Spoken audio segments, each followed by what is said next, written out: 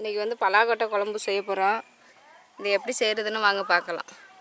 தோலை வந்து நம்ம வந்து கொஞ்ச நேரம் வெயிலில் போட்டால் கூட அந்த தோல் மேலே அப்படியே ஒரு மாதிரி வெடிச்சு வந்துடும் நம்ம அந்த மாதிரி கூட உரிச்சுக்கலாம். அப்படி நம்ம உடனே உரிக்கிறதுனா ரெண்டு சைடு கத்தியால் வந்து கட் பண்ணிக்கணும். இந்த மாதிரி இந்த மாதிரி ரெண்டு சைடு நம்ம கத்தியால் கட் பண்ணிவிட்டு இப்படி இப்படி சென்டரில் இப்படி ஒரு கோடு போட்டோம்னாக்கா நம்ம உரிக்க ஈஸியாக இருக்கும். அந்த மாதிரி நம்ம உரிச்சிக்கலாம்.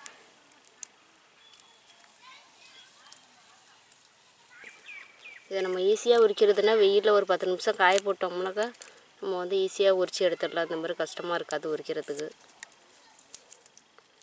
இந்த மாதிரி உரித்து எடுத்துக்கலாம். இப்போ உரிச்சாச்சு நம்ம இப்போ வேக போட்டுடலாம். இப்போ வந்து வேக போடுறதுக்கு வந்து தண்ணி இப்போ போட்டாச்சு. தண்ணி நல்லா சூடாயிடுச்சு. நம்ம வந்து இதில் போட்டு வேக போட்டுக்கலாம். நம்ம வேக போட்டு குழம்பு வச்சோம்னா நம்ம நேரம் வைக்க வேண்டியதில்லை.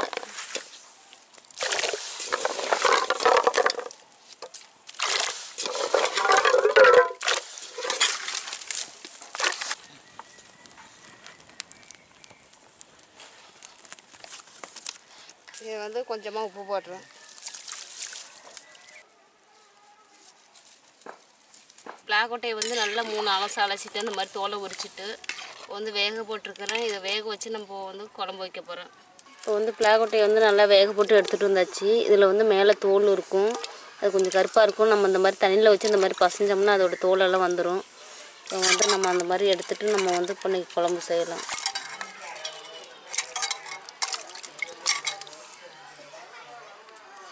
மாதிரி நம்ம எடுத்தோம்னா அதோட தோலெல்லாம் வந்துடும் இதை அப்படியும் போட்டு நம்ம செஞ்சுக்கலாம். இந்த மாதிரி நம்ம கையால் போட்டு இந்த மாதிரி பசஞ்சோம்னா அதில் உள்ள தோலெல்லாம் வந்துடும்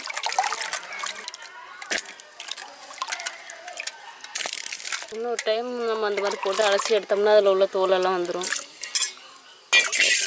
இதோட ரெண்டு டைம் இந்த மாதிரி நம்ம போட்டு பசஞ்சோம்னா அதில் உள்ள தோல் கருப்பு தோல்லாம் வந்துடும் இதை எடுத்துட்டும் போடலாம் எடுக்காமலும் போட்டுக்கலாம்.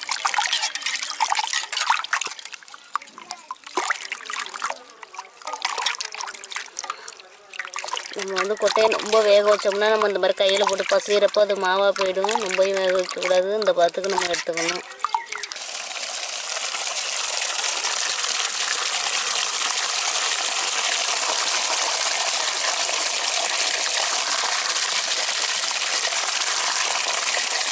சுத்தமாக அலசியாச்சு.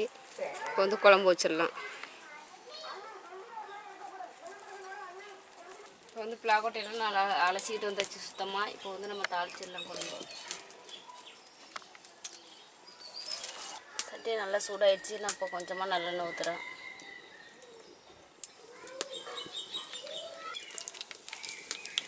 ஒரு ஸ்பூன் கடுகு போடுறேன். கடுகு நல்லா பொரிஞ்சிருச்சு. இப்போ வந்து ஒரு பத்து பல்லு பூண்டு எடுத்துருக்குறேன். பூண்டு வந்து நல்லா வதங்கணும்.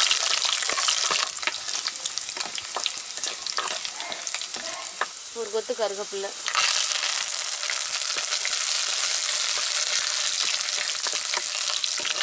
பச்சை மிளகா கொஞ்சம் பழுத்துருச்சு நீங்கள் வந்து கொஞ்சம் பச்சையாகவே போட்டுருங்க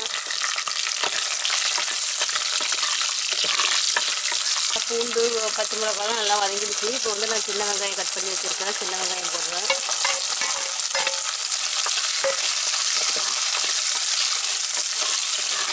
ஒரு ஸ்பூன் கல் உப்பு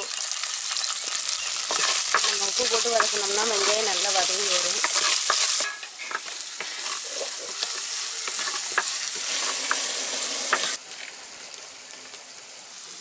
ரெண்டு தக்காளி எடுத்துருக்குறேன்.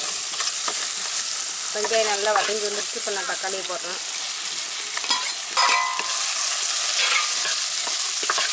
கொஞ்ச நேரம் தக்காளி நல்லா வதங்கி வரட்டும் அது வரைக்கும் நம்ம கொஞ்ச நேரம் மூடி வச்சுக்கலாம்.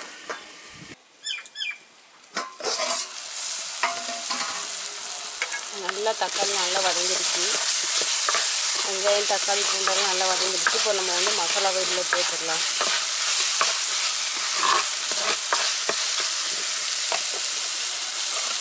இப்போ வந்து பிளாகொட்டையை நல்லா சுத்தமாக தோலெல்லாம் எடுத்துகிட்டு நல்லா அலசி வச்சுருக்குறோம் இப்போ நம்ம இதில் சேர்த்துக்கலாம்.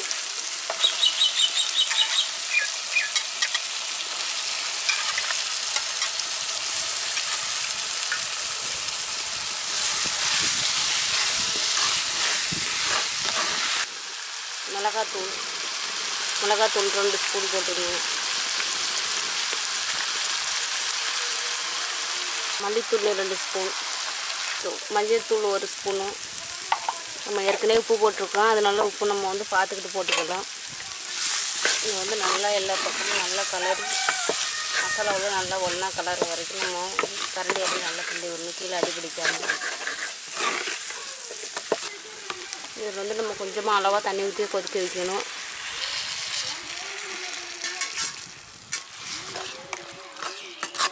நம்ம வந்து கொட்டை பிளா கொட்டையெல்லாம் நம்ம வந்து வேக வச்சுட்டோம். அதனால் நம்ம வந்து ரொம்ப நேரம் கொதிக்க விட வேண்டியதில்லை.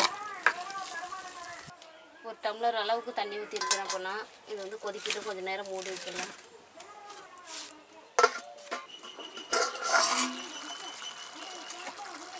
நல்லா குழம்பு கொதிச்சிருச்சு. இப்போ நம்ம புளி தண்ணியை ஊற்றிடலாம் இது வந்து ஒரு நெல்லிக்காய் சைஸு புளியை எடுத்து இப்போ கரைச்சி வச்சுருக்கிறோம் இப்போ நம்ம வந்து தண்ணியை ஊற்றிடலாம் இதில். ஒரு பத்து நிமிஷம் நல்லா வேகட்டும். அப்புறம் நம்ம தேங்காய் ஊற்றிக்கலாம் நல்லா குழம்பு கொதிச்சு நல்லா கெட்டியாக வந்துடுச்சு இப்போ வந்து நான் ஒரு ஸ்பூன் தேங்காய் போடுறேன்.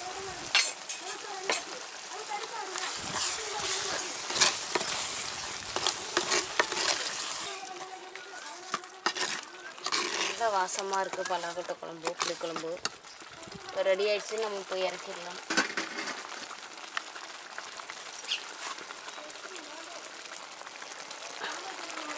பலாக்கொட்டை புளிக்குழம்பு ரெடி இப்போ மணி பதினொன்று தான் ஆகுது. அதனால நான் சாப்பிட்லன்னு எதுவும் சொல்லாதீங்க.